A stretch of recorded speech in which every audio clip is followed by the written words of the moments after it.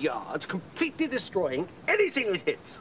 Wow, how does it work? Well, it's quite simple, really. You just take one of these heavy rocks, put it here, where I'm sitting, and then pull on that lever.